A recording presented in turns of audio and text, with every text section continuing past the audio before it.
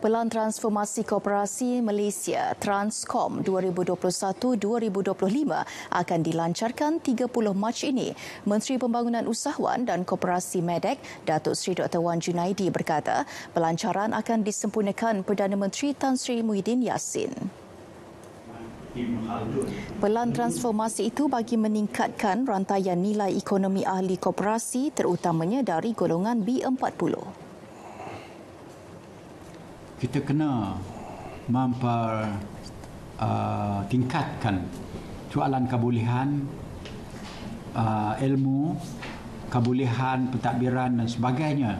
Ahli-ahli lembaga koperasi orang-orang koperasi pentadbiran koperasi dan sebagainya. Um, untuk memacukan koperasi ini ke hadapan